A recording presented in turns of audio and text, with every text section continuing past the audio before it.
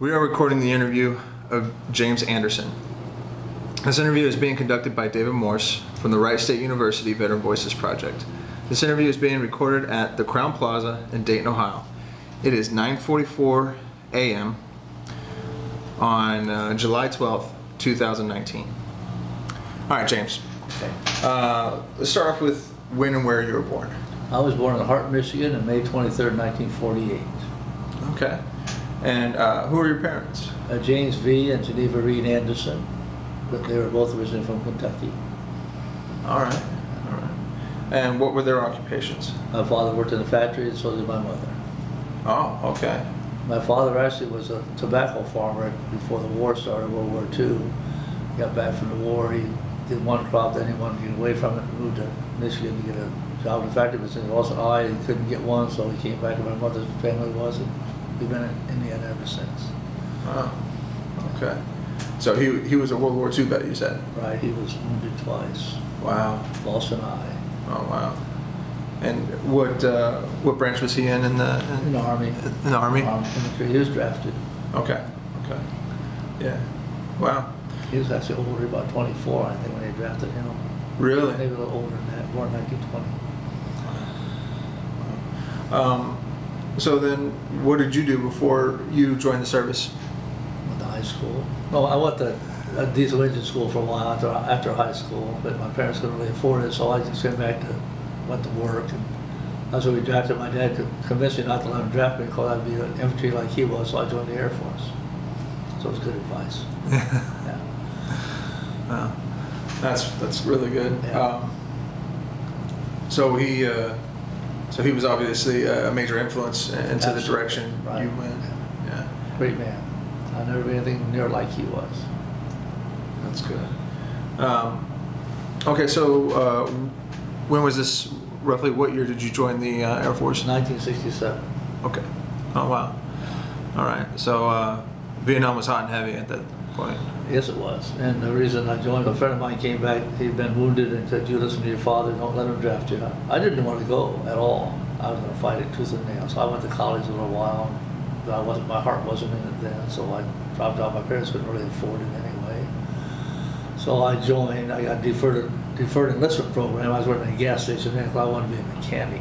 And this little recruiter, staff sergeant recruiter goes, uh, I guarantee you'll be a mechanic, I don't know what kind. So I said, okay, I'll sign up. I mean, that's summer off. And I went in I liked it. I liked what I did. I did have to go to Vietnam a couple of times, but not a big deal. Okay. Uh, well, let's let's talk about um, basic then. Basic was training? Yeah, how was basic training? Actually, I don't think it was too bad. I was kind of worried about it. 'cause I wasn't physical, but it wasn't bad. I remember at the end you had to do certain tests, physical tests. I had a hard time with push-ups. You had to do so many push-ups amount of time. I think the, the DI knew I couldn't finish it right. And I was really struggling. He looked away and buddy would stand up. So I said, if I had done it, and he'd let it go. So I'd still been in basic training today, probably. That's right. And they sent me to school. I had three choices for, for the job at basic. They were mechanical jobs, just like the recruiter promised. Hydraulics, propellers, or munitions. And I, there's no way I went with munitions. That's dangerous stuff. So I said, "Prop- propellers, that's pretty good. How hard can that be? It's a prop on front of an engine. And I was so naive back then, I thought reversing meant the engine went backwards. But I learned later on that it wasn't so. I liked the job. That's why, I- that's why I stayed probably. Yeah. That's funny. I went munitions. Yeah. Yeah, yeah. I was a I was a loader and Really? maintenance. Yeah. yeah. Yeah. So I did a lot of lot of maintenance on aircraft. I F didn't want to play sixteen. with bombs. I watched too many movies, I guess, so they exploded. It wasn't for me. Yeah. Yeah, it was pretty crazy. Yeah. Uh, okay, so uh, basic training. Uh, how, how long was that roughly? Uh, six weeks for us, so they're getting the guys through pretty fast. And then from there, I went to tech school in Wichita Falls, Texas. They got snows up there for propeller training. And I really enjoyed it. The instructor said, you, you'll probably do- do all right. This, I see you like this stuff. I said, "Oh, yeah, it's interesting. A Uh, little more complicated in the car. And, you know, do pretty good. so you were kind of a natural. That's kind of what he said, yeah. Okay. once I understood what was going on. Right. Right. All right. And and how long was uh, tech school? Uh, I think it was 17 weeks. I got I got there in October, I got done in February. And in February, they sent me from there to Sewart Air Force Base, Tennessee, which is the 314th Tactical Airlift Wing was there then, for training on the C-130E model propeller. I think it was 54, 860-91, I still remember that. And then, then from there, I had to go on leave for another couple of weeks, and they sent me to CCK Air Base Taiwan.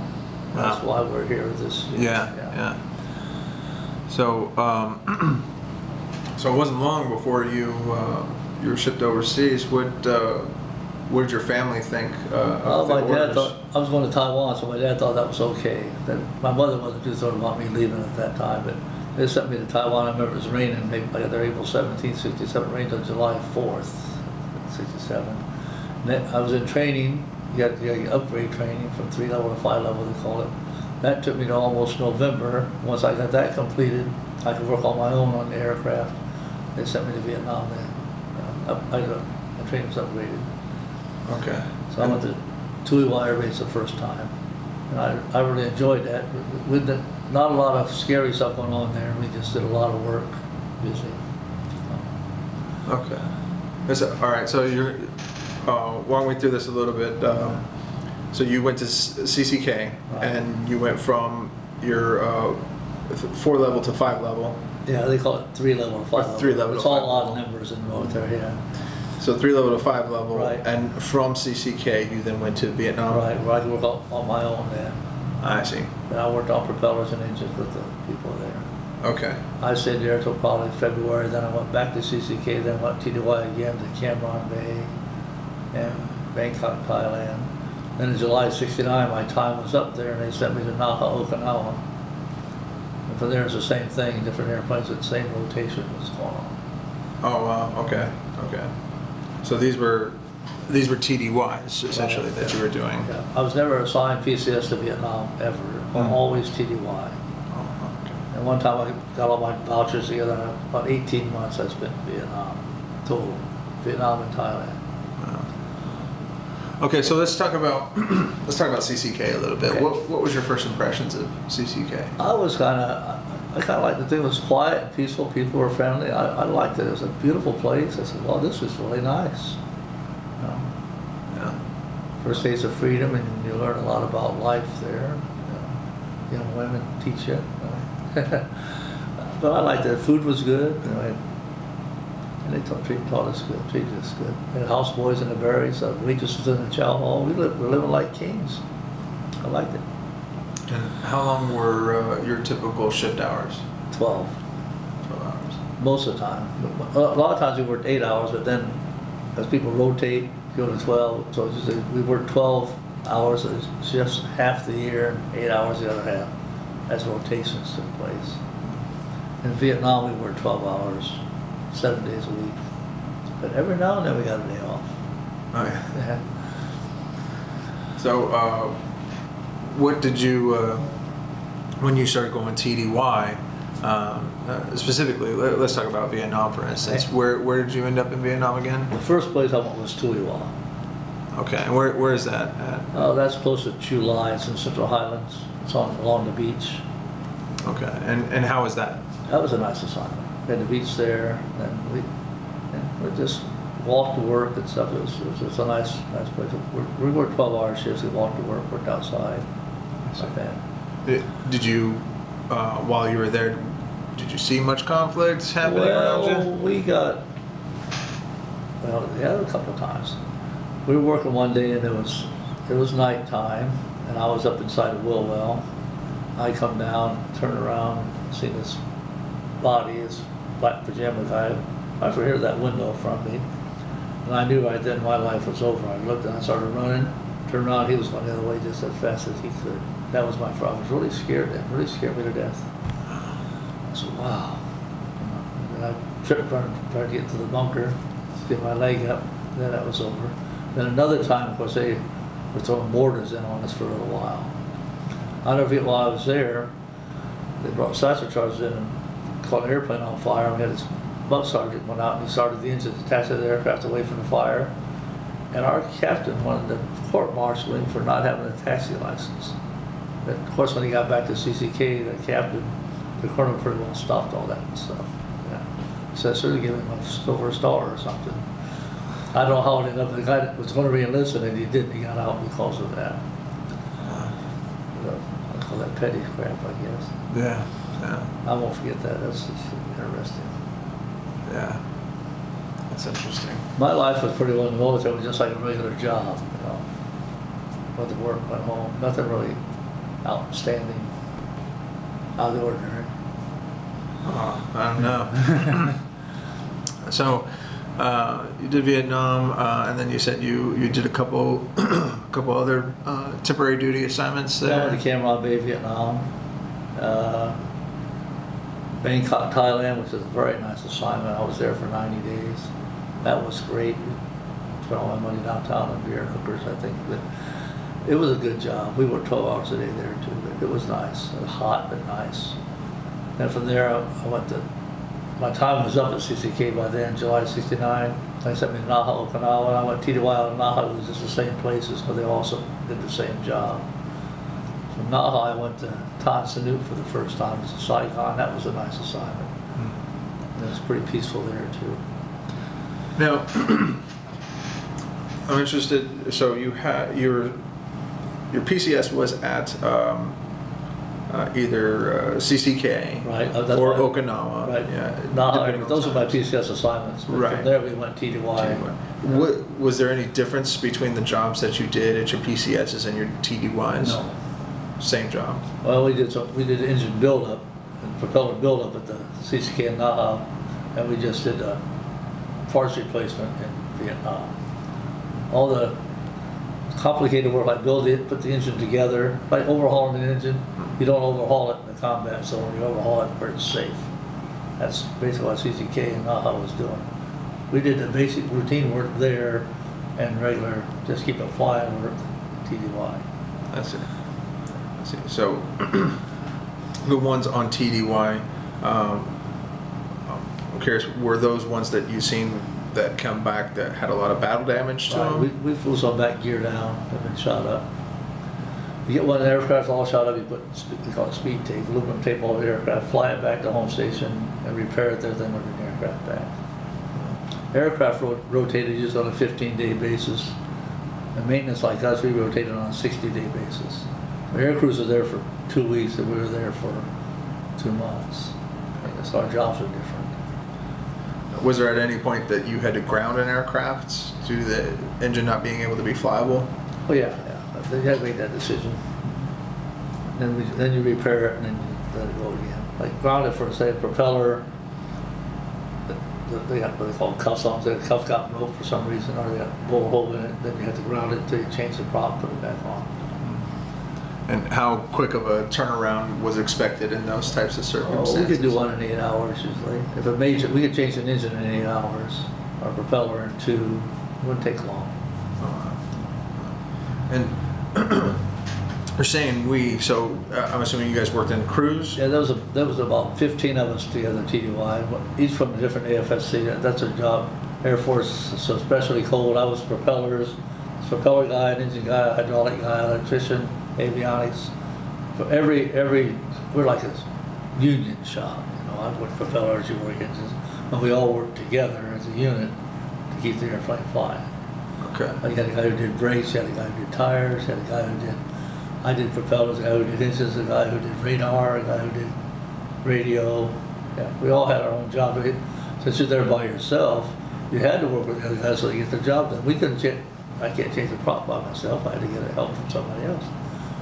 So, Like an engine, it takes three guys to change an engine, so I helped the engine guy, and another guy did too. Then Tui, well, he's an electrician, but he's a big guy, he could pick up the stuff pretty quickly. They all work together, it's like a team. I see. That's why Tweed was my favorite memory, because that was the best team I was with, I think. Because they put us there all at the same time, we all left at the same time. Other teams that kept rotating people in and out every couple of weeks, they didn't really know anybody that well. Mm, yeah. Yeah, It makes it hard. Yeah, when you know, it's a pretty good deal. When you, when you know everybody, you work together, it's much, much easier. Yeah. Yes, it is. And, And did you guys have TOs that you had to have Right, open and take. Yeah. They get run inside the airplane.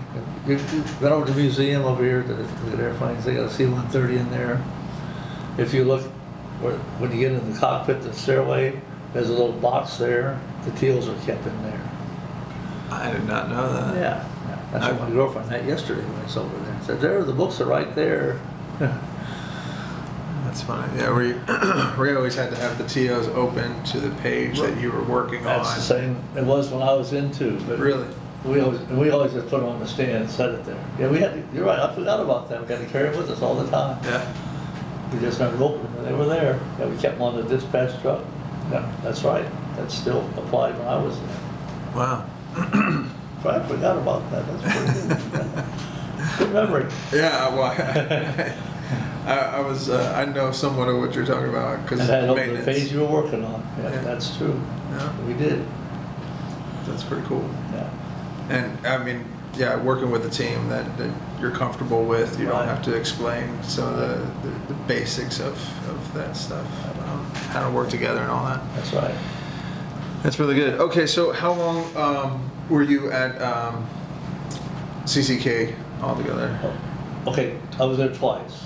Okay. 68, 69 is 15 months, and 72, 73 was about the same, about 30 months, two and a half years maybe. That's at CCK. I was at Naha, 18 months, I think. I got there in July 69 and left in April 71 when the base, C-130s were leaving. Then with the North Dakota. I didn't have much to do there. It's kind of boring. I just re-enlisted, I was married then. And I volunteered to go back to CCK, so that was a good assignment. Then when that ended, they they took us to Kadena, and I had a Japanese wife, so I stayed there, then we went to Japan. I stayed over there until 1983 before I went back to the States. Really? Yeah. That's, It was a, it was a nice life. My daughter was born over there. She's in her 40s now. she was born in uh, Tokyo, Japan. To- okay. now, uh, so you in North Dakota, that was a Minot that you Minot. in? We Yeah. had a base T-29 recip with the, only one propeller aircraft up there. I helped them, I helped the helicopter guys too while I was there. My oldest daughter was born there. Uh, We took her to Taiwan with us in uh, 73. And That's actually 72, actually. We left at 73, 72, 73, then they moved the C-130s out and went to Kadena. um, when you went back to Right, right. Now, um, how is how is Kadena? I mean, it seems That's a like nice you assignment. I liked it there. Yeah. And what was it about Kadena that you really liked? The weather. We worked outside. Nice to have warm weather. And that's, and the people are friendly. I just like the atmosphere is nice. It's like one big military base anyway. I just liked it there. But I think the weather is a key point, staying overseas. Yeah, yeah. That's that was nice. Yeah. I, uh, so and and in Kadena, it was mostly C-130s that you were working on. That's all I worked on, yeah. Okay. They had F-4s and 130s. And we were, we were not a major base there. We got our parts out of Clark, because Clark owned the build-up shop there. So we were just like a forward operating location. And they figured that wasn't working so well, they, so they sent us to Yokota Air Base Japan a couple years later. I don't remember what year, maybe 75. Okay. And I stayed at Yokota till 83. So, all right. That was like working a regular job. Then the war was over, you worked eight-hour shifts, five days a week, weekends off. Did a lot of vacation over there. Nice. That's very nice. Now, uh, you said you were in, uh, you went back to CCK there at the tail end before Yeah, they moved. 72, yeah. 72, before they moved them to Clark Air Force Right, Base. Did you end up following the C-130s to Clark, or was that when No, you I moved went to back Kadena. They- to? They went two places. They went Kadena and Clark. Mhm. I, I chose Kadena. I see. Yeah, so same thing, only, only I went to the other place. Most people went to Clark, but I went to Kadena. Okay. All right. And um, what was the reason for going to Kadena? You My wife was Okinawan. Ah, Yeah, that was. That's simple solution. So let's uh, let's talk about the um, your second time going to CCK. How is that different than your first time? Well, my fam- well, family was there and I had a car. It was just like a civilian life there. It was just, same job, but it was easier. I had transportation, Hmm. lived downtown, it was nice. Nice. Wasn't any harder. So, same style of job. And uh, the convenience of a car that that helped. Um, what what was it like as far as living the living quarters? Um, Downtown, well, we Mhm. lived with an apartment, it's just like any apartment in the States. You know, We paid our rent, had electricity and water, and it was just like living anywhere. That's nice. Parking with a car is hard because it's a little narrow alleyway, but it was all right. That's good. Alright. And uh, then, I guess after uh, once you finally got back from, um, so I'm trying to get the timeline straight here. Um, your first assignment back home uh, to the? United States was Minot, Mine right? North Dakota. Okay. I left there in seventy-two and went back to Taiwan. Right. Then in seventy-three, I went to Kadena. Uh-huh. Then I, at about seventy-five or seventy-six, I don't remember what year exactly, we went from Kadena to Yokota Air Base, Japan. I know I was there in seventy-seven when my daughter was born, and I th- think it was, I think it was seventy-five. I'd say from seventy-five to eighty-three. Then I went to Patrick Air Force Base, Florida. This was a pretty good assignment, but I got divorced by then because I had some problems going on. I was single parent in North Then from there, eighty-five, I went to Germany and stayed till eighty-eight and I retired then. Okay. That's my whole career. Wow. Just a regular, simple, Yeah. nothing real exciting about my military career. Well, let's let's talk about um, when you came back to uh, Minot. Um, what I mean, we. How was the welcome home? Uh, I never had any problems at all. Uh, I flew into California. We went, we go, well, actually, I went to Hawaii, California. We flew to Chicago. My parents picked me up there. I never had anybody give me any trouble or anything at all. I've never seen any of that spitting stuff or that's good. baby killer. I was, I was, I guess, lucky. And Never were you happened. in uniform or civs? Well, I didn't wear my uniform, but it, you know, we were pretty obvious with short haircut that we were military. but Nobody ever bothered me, say anything. That's good. So I didn't experience any of that. And that's probably why I stayed overseas. I didn't want to see it anyway. So, but when I flew back over, I flew out of San Francisco. and Nobody said anything. And was there uh, when you came back in, in eighty? What would you say? Eighty three. 83, I went to Florida. Went to Florida. In '83, was did you find that there was any real differences uh, between the first time you came home and the second time you came home? I didn't notice any change at all. Because I'm kind of a, loner. I don't really go out anywhere. So I hang around, just kind of quiet. Yeah. Okay. So that would be what part of it there, I guess. Didn't see anybody, so I don't talk to anybody. Uh, and so you said you retired out Yes. there. Uh, what rank did you retire at? I retired E7. Oh, that's good. Yeah. Um, and after you retired, what'd you end up doing? Uh, industrial maintenance. I got my degree in, while I was in, this is probably a story maybe. While I was in the military, I, I wanted to go to college. So I went to the University of Maryland in Japan and graduated with my degree in English. I graduated probably 82 or 83 somewhere in there. No, before then, before I left anyway. Got my degree in English. So when I retired, went back to my hometown, but I was a single parent. I thought I wanted to be a teacher. I want to teach English out here to high school. So I went and talked to my friend, his name was Hippensteel, he's a superintendent. So I'd like to be a teacher. He goes, well, you've been gone a long time, military guy. Why don't you substitute for a while first? I said, okay. So I substitute, put me in uh, history or something, I- something I didn't know very well. But the kids were being a little unruly. So you guys sit down and shut up, get off your butt, sit down. And they called me to the office. You can't do that. You can't talk to the kids that way. So did to me. And he goes, see, I told you you've been out too long. So I went back to industrial maintenance in the factory. Better. But I got a lot of respect for teachers nowadays. Yeah. Yeah. But my my granddaughter's a teacher, and my nephew's a teacher.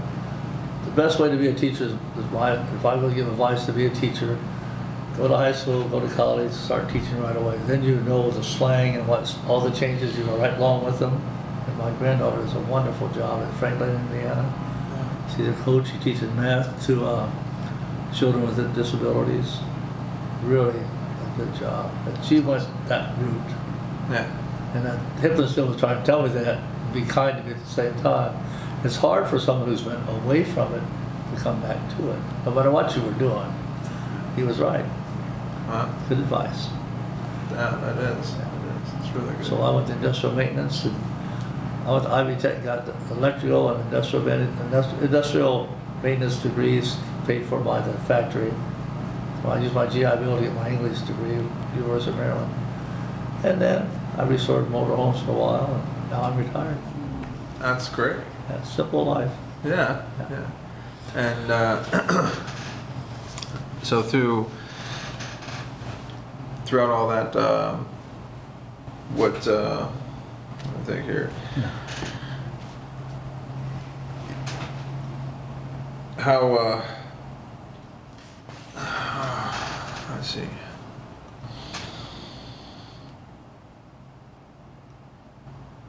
I guess. Hmm. I just had a routine career. Nothing really. I don't know how to put that. It was some tough times, but it wasn't nothing really caused me any real problems. But I did drink too much back then. Yeah. But that's a military habit. They teach you that right away. Oh yeah, yeah. Yeah, that's. But I got over that several years ago. So now that you're retired, um, have you been a part of any military I, uh, I'm a, I belong to American Legion, the VFW and stuff, and I'm the finance officer, in and I write books. oh yeah, history you're a books, writer. yeah. Okay, all right. I've been published four times now. What books? What, what These books are history books about my small hometown, World War One, history of Ligonier, Indiana, and now I'm doing World War Two. I got three volumes out. I'm just writing about the people, town, I'm just, actually, I'm not doing all the writing, I'm just taking it from the old newspapers and transcribing it. And that's about it there. And what brought on that passion? I don't know. I, well, one day, uh, in 2012, Uh, I was at the American Legion in Ligonier. I, I was still drinking at that time, but I was slowing down. But so the ladies "We gotta get our Christmas decorations out of the shed outside." I said, "Okay, I'll for you." So we're there looking at all these old toys. I think the place is a mess, like a hoarder's. You know how a hoarder's house is? You walk in, well, this is how this thing looked. I went in there, full of toys. I know on the floor was this old ledger book, not you know those little thick ones you see from the 20s. Opened up with the minutes from 1920 of that Legion when it opened. So I took that. Oh, I'm going to save this. I went took that home to transcribe it, to save it. And I started seeing these guys' names who were in World War One. And I said, well, I got to find out who they are. Do that. I got to write the newspapers that back in World War One, 1917 19, to 1919. They wrote letters back to the city, and they published them all in the paper. So I started publishing those letters. And in World War II, the same thing. So that's where it started. Wow. And it's so interesting because now in World War II, I know some of these guys. And my best buddy in high school, his dad was a POW in Poland. I didn't know that. So that's what we're, I'm doing. That's why that keeps me busy. That is incredible. Yeah. I That's give away awesome. some copy. I give Jim Dwyer, if you want to see what it looks like, Jim Dwyer's got a set. I give him a set. And I give uh, Keller a set too, Bob Keller, of those books. That's a gift for all the work they did. Yeah, yeah. Yeah. That's really that's Yeah. really awesome. Yeah. That's Fish really. out of trouble. Whole new sober world out there. Oh, that's great.